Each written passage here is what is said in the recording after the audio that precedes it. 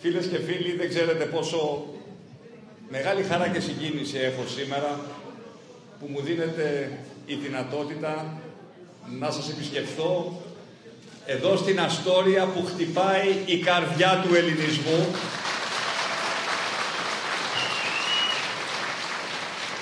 να σας επισκεφθώ με την ιδιότητά μου ως Πρωθυπουργός της Ελλάδος.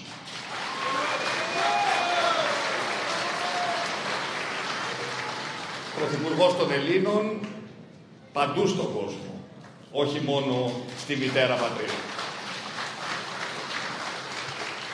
Και επιτρέψτε μου να ξεκινήσω λέγοντάς σας ότι αισθάνομαι και εγώ με τον τρόπο μου ένας από εσάς. Και θέλω να με αισθάνεστε και εσείς ως έναν δικό σας άνθρωπο. Και αυτό, ξέρετε, δεν είναι ένα σχήμα λόγου. Βρέθηκα στην Αμερική για πρώτη φορά νέος φοιτητής πριν από 33 χρόνια, το 1986. Πέρασα 7 από τα ωραιότερα χρόνια της ζωής μου σπουδάζοντας στις Ηνωμένες Πολιτείες. Αυτό το μεγάλο χωνευτήρι εθνοτήτων διαφορετικών πολιτισμών, αυτή τη χώρα τη σπουδαία, την οποία επιλέξατε να κάνετε τη δεύτερη πατρίδα σας. Έζησα από την πρώτη στιγμή που πάτησα το πόδι μου εδώ, ως νέος φοιτητής, τον δυναμισμό και τον πατριωτισμό του ελληνισμού της Αμερικής. Και θέλω να σας ευχαριστήσω που ήσασταν, είσαστε και θα είσαστε κοντά στη μητέρα πατρίδα.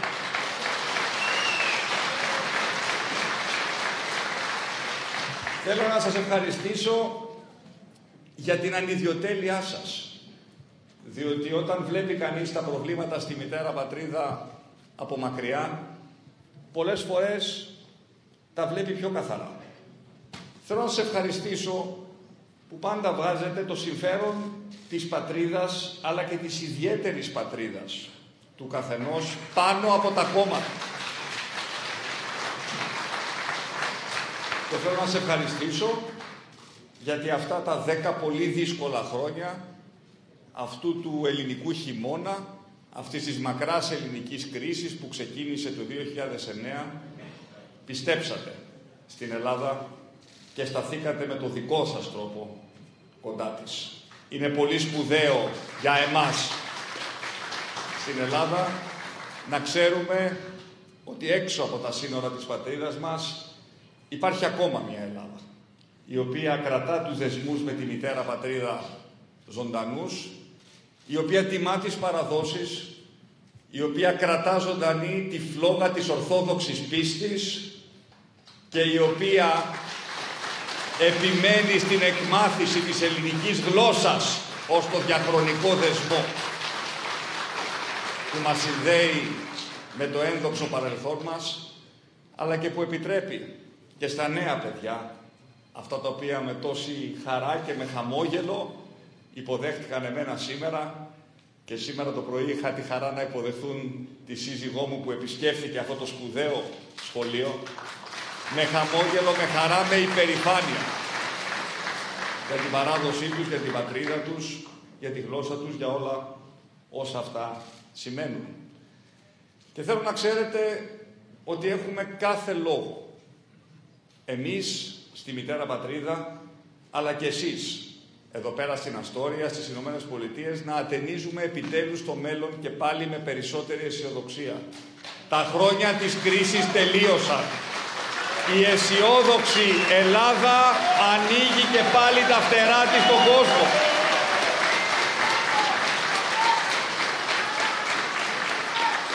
Στις, ε, στις 7 Ιουλίου ο ελληνικός λαός μας έδωσε μία ισχυρή εντολή και εναπόθεσε στους ώμους μας μια βαριά ευθύνη. Μια βαριά ευθύνη την οποία πρώτος εγώ αναλαμβάνω με αυτοπεποίθηση και με σιγουριά ότι μπορώ να φέρω εις πέρας αυτήν την αποστολή. Είχα μιλήσει...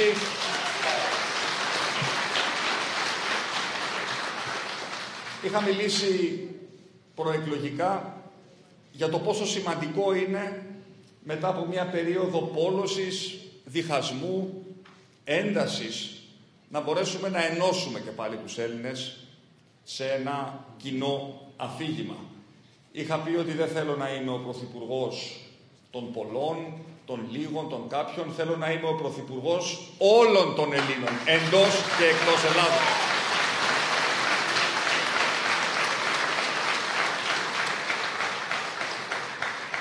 Και πιστεύω, φίλες και φίλοι, ότι έχουμε κάνει μια καλή αρχή.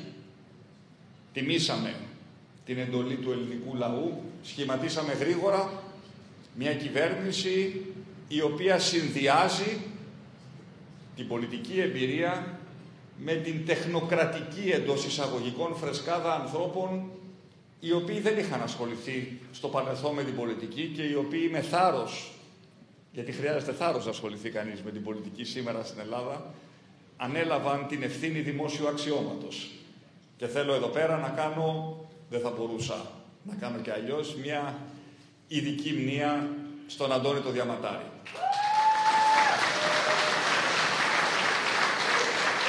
Τον οποίο επέλεξα ως Υπουργό Εξωτερικών υπεύθυνο για τα θέματα του απόδεισμου ελληνισμού αλλά και των εκκλησιών της Διασποράς. Και είναι πολύ σημαντικό, πιστεύω, τα ζητήματα αυτά να τα χειρίζεται ένας άνθρωπος ο οποίος έχει ζήσει τα προβλήματα της ομογένειας από πρώτο χέρι και θέλω να τον ευχαριστήσω που ανέλαβε με ενθουσιασμό αυτή τη σημαντική αποστολή. Όπως είχα την ε, ευκαιρία να πω και στη Διεθνή Έκθεση Θεσσαλονίκης, δεν έχω αυταπάτες ότι η Ελλάδα άλλαξε μέσα σε δυόμισι μήνες. Άλλαξε όμως η ψυχολογία του κόσμου. Ο κόσμος είναι πιο αισιόδοξος, πιο χαμογελαστός, ατενίζει το μέλλον με περισσότερη αυτοπεποίθηση. Το βλέπουμε παντού. Το βλέπουμε στους οικονομικούς δείκτες, στο κόστος δανεισμού, το οποίο πέφτει ραγδαία. Ποιος θα φανταζότανε πριν από δύο χρόνια ότι η Ελλάδα θα μπορούσε να δανείζεται με 1,5% επιτόκιο. Το βλέπουμε στο δείκτη της οικονομικής εμπιστοσύνης, ο οποίος ανεβαίνει την ώρα που σχεδόν παντού στην Ευρώπη πέφτει. Το βλέπω στις καθημερινές μου συναντήσεις με ξένους επενδυτές. Και σήμερα και χθες και προχθές αφιερώνω ένα κομμάτι σημαντικό του χρόνου μου σε αυτή την πρώτη σημαντική επίσκεψη στη Νέα Υόρκη να μιλήσω σε ξένους επενδυτές και να τους εξηγήσω γιατί η Ελλάδα αποτελεί μια σημαντική επενδυτική ευκαιρία. Και ήδη σημαντικές επενδύσεις έχουν ανακοινωθεί και υλοποιούνται στην πατρίδα μας. Και θέλω να ευχαριστήσω τον Άδωνη Γεωργιάδη, Υφυπουργό Ανάπτυξης και Επενδύσεων,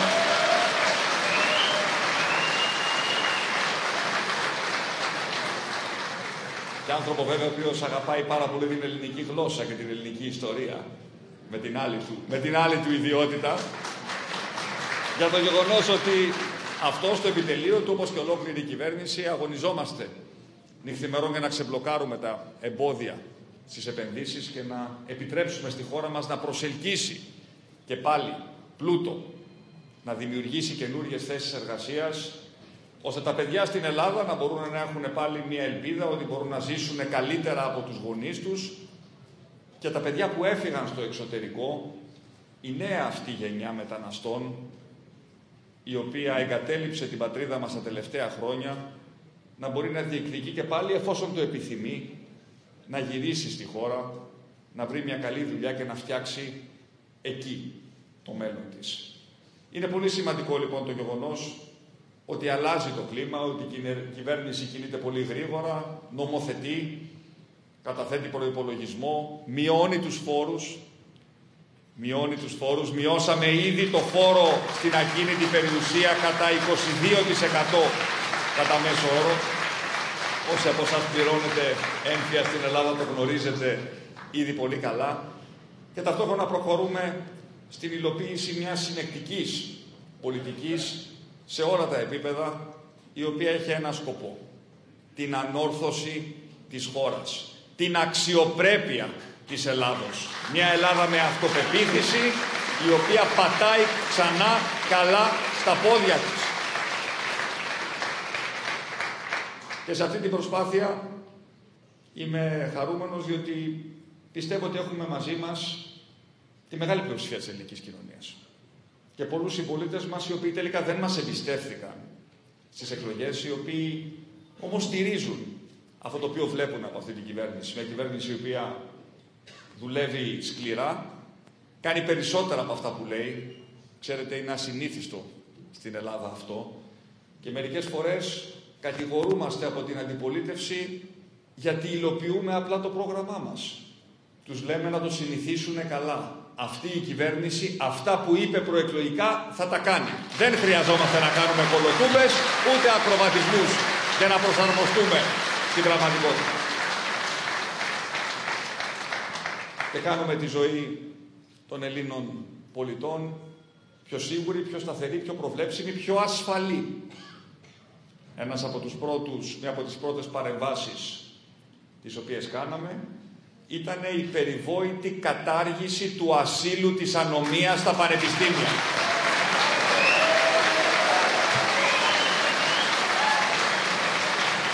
Γιατί το άσυλο, το άσυλο, το περιβόητο, το πανεπιστημιακό άσυλο δεν προστάτευε την ελεύθερη διακίνηση των ιδεών. Αν θέλαμε σήμερα να πάμε στο ελληνικό πανεπιστήμιο, να κάνουμε ένα συνέδριο για το φιλελευθερισμό, για τον υγιή πατριωτισμό, τι σημαίνει σήμερα να είσαι πατριώτης στην Ελλάδα του 21ου αιώνα, θα μας προπυλάκιζαν οι γνωστοί άγνωστοι και δεν θα μας επέτρεπαν να εκφράσουμε ελεύθερα τις σκέψεις μας. Τέλος λοιπόν σε αυτές τις πρακτικές. Τέλος.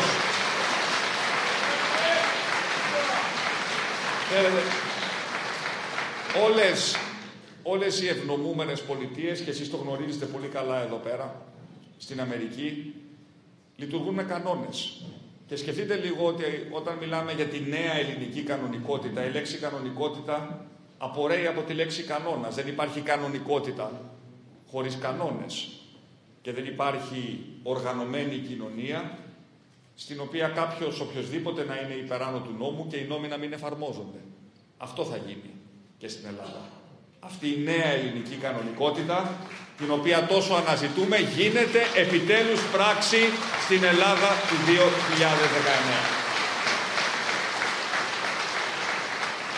Είμαστε μια χώρα με αυτοπεποίθηση που παίζει το νέο ρόλο που της αρμόζει στην περιφερειακή της πολιτική.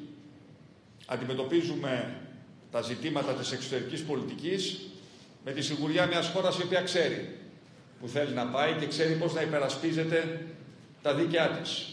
Με καλή διάθεση απέναντι στους γείτονές μας, αλλά χωρίς να κάνουμε ούτε ένα βήμα πίσω από τα δίκαια αιτήματά μας. Και είχα σήμερα την πρώτη μου συνάντηση ως Πρωθυπουργός της Ελλάδος με τον Τούρκο Πρόεδρο, τον Ταγί Περδογάν.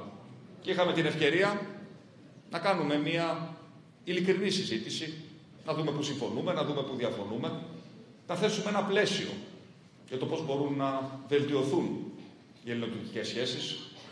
Του επισήμανα μια σειρά από ζητήματα τα οποία προκαλούν έντονη ανησυχία, όπως η παραβατικότητα της Τουρκίας εντός της αποκλειστικής οικονομικής ζώνης της Κύπρου, θα είμαστε δίπλα στους Κύπριους αδερφούς μας στη δίκαιη υπεράσπιση των ετοιμάτων.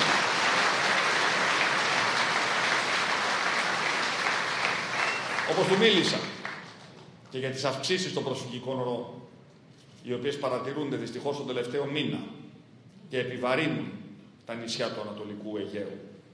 Και η Τουρκία πρέπει και αυτή να κάνει το καθήκον της με βάση τη Συμφωνία Ευρωπαϊκής Ένωσης Τουρκίας, έτσι ώστε οι ροές αυτές να περιοριστούν και να μπορέσουμε ως Ελλάδα και ως Ευρώπη να βρούμε ένα νέο πλαίσιο συνεννόησης με την Τουρκία για τη διαχείριση του προσφυγικού ζητήματος.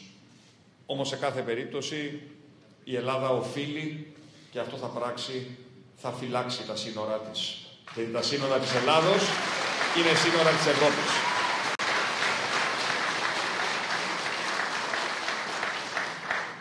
Και βέβαια δεν θα μπορούσα να έρθω εδώ και να μην σας μιλήσω για αυτό το κομμάτι το οποίο έχω τόσο μέσα στην καρδιά μου που είναι το κομμάτι το δικό σας που αφορά εσάς, το κομμάτι του απόδημου ελληνισμού. Πολλές κουβέντες έχουν γίνει στο παρελθόν για τη σύσφυξη των σχέσεων μεταξύ της μητέρας πατρίδας και της ομογένειας. Πολλές κουβέντες οι οποίες δυστυχώς έμειναν συχνά λόγια του αέρα, χωρίς μετρήσιμα αποτελέσματα. Καθώς έμπαινα άκουσα έναν φίλο να μας φωνάζει μια κουβέντα που την ακούω συχνά και στην Ελλάδα. Μη μας απογοητεύσετε. Δεν θα σας απογοητεύσουμε, φίλες και φίλοι. Δεν θα σας απογοητεύσουμε, γιατί ξέρουμε που θέλουμε να πάμε και γιατί έχουμε σχέδιο να υλοποιήσουμε την πολιτική μας. Θέλω να συνεργαστώ με το Υπουργείο των Εξωτερικών αλλά και με το Υπουργείο Ψηφιακής Πολιτικής για να απλοποιήσω δραστικά τη γραφειοκρατία στα προξενία. Το γνωρίζει ο εκλεκτός πρόξενός μας. Είναι τόσα τα ζητήματα τα οποία μπορεί να λύσει πια η τεχνολογία, ώστε να μην χρειάζεται να ταλαιπωρήσετε με αυτόν τον τρόπο, πολύ περισσότερο από ό,τι ταλαιπωρούνται οι πολίτες στη μητέρα πατρίδα και σύντομα θα δείτε σε αυτό το επίπεδο μετρήσιμα αποτελέσματα. Θα στηρίξουμε την εκμάθηση της ελληνικής γλώσσας. Είναι πρώτη μου προτεραιότητα. Και αυτή είναι και η κατεύθυνση που έδωσα στην Υπουργό Παιδείας και χαίρομαι που σας έκανε καλή εντύπωση διότι είναι μια εξαιρετική νέα πολιτικός η οποία αγαπάει πραγματικά αυτό το οποίο κάνει και αναγνωρίζει και αυτή ότι δύο είναι οι δεσμοί, οι άρρηκτοι και οι διαχρονικοί, οι οποίοι κρατούν τις σχέσεις της ομογένειας με τη μητέρα πατρίδα στο επίπεδο που τις θέλουμε. Είναι η Εκκλησία και, και σε βαθιότατα και είναι και η γλώσσα. Θα επιμείνουμε λοιπόν στην εκμάθηση της ελληνικής γλώσσας, θα χρησιμοποιήσουμε και νέα εργαλεία τα οποία η τεχνολογία μας δίνει τη δυνατότητα και θα στηρίξουμε και αυτή την πολύ όμορφη προσπάθεια η οποία γίνεται εδώ σε αυτό το σπουδαίο σχολείο. Θέλω να συγχαρώ όλους όσοι στηρίζουν αυτό το σχολείο το οποίο αποτελούσε και αποτελεί και θα αποτελεί πάντα την κοιτίδα της εκμάθησης της ελληνικής γλώσσας στην ευρύτερη περιοχή της Νέας Υόρκης. Όμως, για εμένα η πιο σημαντική παρέμβαση στο επίπεδο της σύσφυξης των σχέσεων της ομογένειας με τη μητέρα πατρίδα δεν είναι άλλη από το να αποκτήσετε επιτέλους το δικαίωμα να ψηφίζετε από το μόνιμο τόπο διαμονής σας.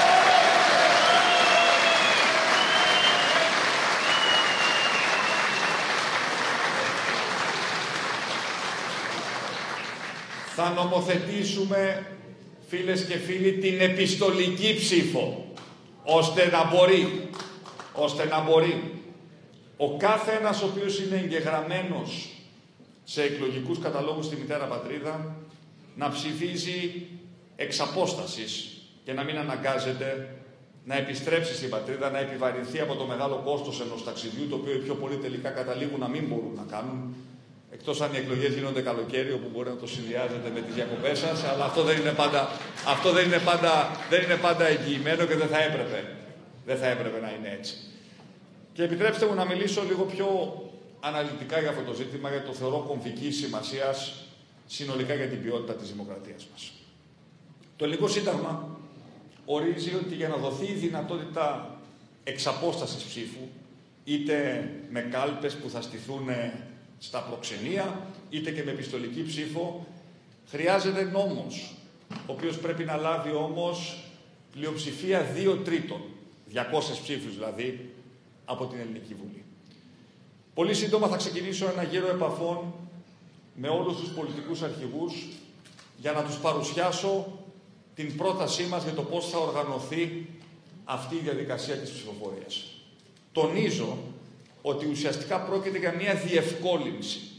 Δεν αλλάζουν οι εκλογικοί κατάλογοι, αυτοί ούτως αλλιώς επικαιροποιούνται κάθε δύο μήνες. Δεν αλλάζουμε τις διαδικασίες για τη χορήγηση ελληνικής ηθαγένειας, αλλά διευκολύνουμε τους κατοίκους του εξωτερικού να ψηφίζουν από το μόνιμο τόπο διαμονής τους. Η ψήφος τους θα προσμετράται κανονικά στο σύνολο των ψήφων που θα, οι, οι οποίες θα πέφτουν στις κάλπες στην Ελλάδα. Αυτό το οποίο θέλουμε να... Γιατί το λέω αυτό; Διότι άκουσα από κάποια κόμματα κάποιες προτάσεις να μην προσμετρώνται, λέει, η ψήφοι της ομογένειας στο σύνολο και να προσβετώνται μόνο για να εκλέξετε δύο ή τρεις βουλευτές. Αυτό είναι απάτη. Θέλω να το πω τελείως ξεκάθαρα. Είναι τελείως αντισταγματικό. Παραβιάζει κατάφορα την αρχή της ισότητας του ψήφου. Αυτό το οποίο θα κάνουμε όμως είναι να αυξήσουμε τον αριθμό των βουλευτών επικρατείας από τους 12 στους 15 που μας το επιτρέπει το Σύνταγμα και υποχρεωτικά κάποιοι βουλευτές επικρατείας να είναι εκπρόσωποι της ομογένειας, έτσι ώστε ψηφίζοντας το ψηφοδέλτιο επικρατείας να ψηφίζετε και να στέλνετε τελικά στο Ελληνικό Κοινοβούλιο τους δικούς σας εκπροσώπους. Για να έχει και η ομογένεια μια εξασφαλισμένη, μια εγγυημένη φωνή εντός του Ελληνικού Κοινοβουλίου. Υπό κανονικές συνθήκες, φίλες και φίλοι, αυτός ο νόμος πρέπει να ψηφιστεί από 300 βουλευτές, όχι από 200 από 300 βουλευτές. Και πιστεύω ότι τελικά με καλή διάθεση και ακούγοντας πάντα τις προτάσεις και όλων των άλλων κομμάτων θα μπορέσουμε να συμφωνήσουμε σε ένα πλαίσιο το οποίο θα πλησιάζει με αυτό το οποίο σας περιέγραψα έτσι ώστε να δώσουμε ένα οριστικό τέλος σε αυτήν την εκκρεμότητα η οποία ταλανίζει την ελληνική πολιτική για πολλές δεκαετίες. Το 2023 όταν θα γίνουν οι επόμενες εθνικές εκλογές, θα μπορείτε επιτέλους να ψηφίζετε από το μόνιμο τόπο διαμονή σας.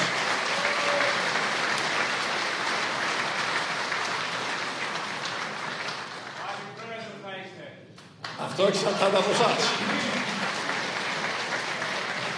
Κοιτάξτε, μια κυβέρνηση οφείλει να προγραμματίζει και έτσι κάνουμε εμείς σε ορίζοντα τετραετίας. Όμως σε καμία περίπτωση δεν πρόκειται να επιτρέψω αυτή η καλή αρχή την οποία έχουμε κάνει να μας οδηγήσει είτε σε αλαζονικές συμπεριφορές, είτε σε αυταρέσκεια, είτε σε χαμήλωμα των ρυθμών του κυβερνητικού έργου. Έχουμε πάρα πολλή δουλειά να κάνουμε και έχουμε κληρονομήσει πολλά προβλήματα από το παρελθόν. Πολλά έρχονται από την πρόσφατη τετραετία της απερχόμενης κυβέρνησης, αλλά έρχονται από πολύ πιο μακριά. Και το σχέδιό μας είναι πολύ τολμηρό. Και είναι ένα σχέδιο βαθιά εξυγχρονιστικό, βαθιά προοδευτικό, το οποίο αντιμετωπίζει όχι μόνο τα τρέχοντα προβλήματα της ελληνικής κοινωνίας, αλλά και τις μεγάλες προκλήσεις του μέλλοντος τις τεχνολογικές αλλαγές οι οποίες γίνονται, την πρόκληση του πώς η Ελλάδα θα γίνει επιτέλους ένα ψηφιακό κράτος. Σας ανέφερα ένα μικρό παράδειγμα μόνο τι θα σημαίνει αυτό για την εξυπηρέτηση από τα προξενία, τις μεγάλες προκλήσεις της κλιματικής αλλαγής. Είχα την ευκαιρία να μιλήσω για τα θέματα αυτά στην ειδική διάσκεψη του ε, Γραμματέα των Ηνωμένων Εθνών τη Δευτέρα, όπου η Ελλάδα κλήθηκε, ήταν μια από τις λίγες χώρες που κλήθηκε να παρουσιάσει δικιά της πρωτοβουλία για το πώς θα προστατεύσουμε την πολιτιστική μας κληρονομιά από τις επιπτώσεις της κλιματικής αλλαγής. Αλλά είμαστε μια χώρα η οποία έχει ένα θαυμάσιο φυσικό πολιτιστικό περιβάλλον. Και οφείλουμε να το προστατεύσουμε και να δούμε την κλιματική αλλαγή ως μια ευκαιρία. Να αλλάξουμε συνολικά το μοντέλο που παράγουμε ενέργεια, το πώς κινούμαστε, το πώς προστατεύουμε τα, τους, ε, τις προστατευόμενες περιοχές μας, το πώς προστατεύουμε τις θάλασσές μας, γιατί αυτός είναι ο πλούτος μας τελικά. Και θα πρέπει να μάθουμε και πάλι να ζούμε σε αρμονία με το περιβάλλον και να το δούμε αυτό ως μια ευκαιρία, ως μια πρόκληση, όχι απλά ως ένα ξεπέραστο εμπόδιο. Για όλα αυτά λοιπόν έχουμε και το σχέδιο, έχουμε και τη θέληση, έχουμε και την όρεξη, τον ενθουσιασμό να τα κάνουμε πράξη. Και σε όλα αυτά τα οποία θα κάνουμε θέλουμε να σας έχουμε κοντά μας. Θα το ξαναπώ η Ελλάδα χρειάζεται το δυναμισμό και την καθαρή ματιά της ομογένειας. Χρειάζεται σήμερα περισσότερο παρά ποτέ. Δείτε λοιπόν και εσείς με την σειρά σας τις νέες ευκαιρίες οι οποίες ανοίγονται στην πατρίδα μας. Να αισθανθείτε σιγουριά, χαρά και αυτοπεποίθηση για το που πηγαίνει η Ελλάδα σήμερα. Και βοηθήστε μας Βοηθήστε μας να κάνουμε πράξη.